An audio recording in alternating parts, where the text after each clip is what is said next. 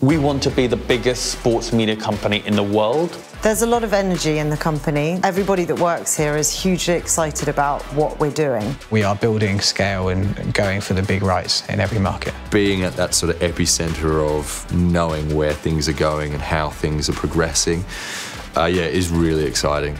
We're always learning, we're always trying to understand more about market and what we can do to improve the strategy. Work on several different countries across several different rights deals. It goes without saying that the, the rights portfolio that we've added to the US proposition as well as in other markets just means that everything is going seriously quickly. Football in Japan has benefited as a result of our work. If you're a fan and you want to watch every single game, we are the only place. Premier League, NFL, WTA. In our other longest serving market, Germany, Austria, Switzerland, we've secured the Champions League rights. We've had Serie A, so domestic football in Italy, obviously announced the huge deal with Matchroom at the start. We've got the right people, we've got the right talent, we've got the right sports brands that we continue to grow. If we sense the opportunity, we'll go for it. I can't describe just how big this place has grown, just why wouldn't you want to be here?